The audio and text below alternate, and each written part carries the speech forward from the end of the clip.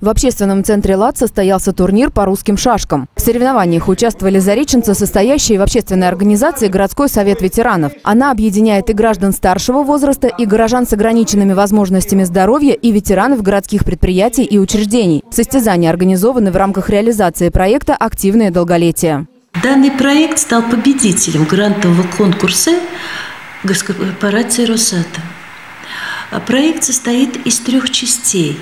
Это историческое, создание историческо-информационного центра в общественном центре «Лада», где территориально, территориально размещается городской совет ветеранов спортивные соревнования среди ветеранов.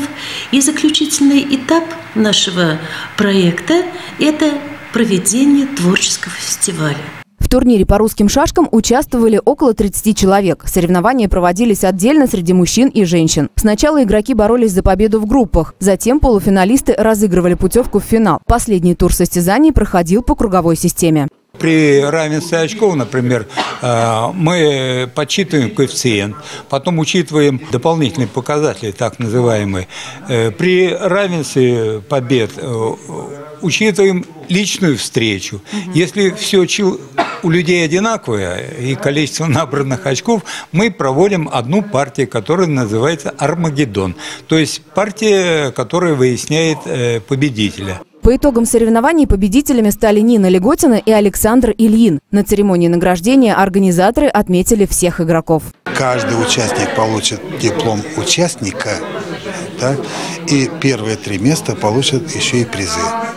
Призы довольно-таки приличные. Блендер, одеяло и чайный набор. Ценные подарки получат и победители других соревнований, которые пройдут в рамках проекта «Активное долголетие». Запланированы турниры по шахматам, настольному теннису, морскому бильярду и пулевой стрельбе. К участию в них организаторы приглашают не только членов городского совета ветеранов, но и всех пенсионеров Заречного. Горожанам, желающим принять участие в состязаниях, необходимо обращаться в общественный центр «ЛАД», комнату номер 16. Елена Степкина, Владимир Полищук, телерадиокомпания «Заречный».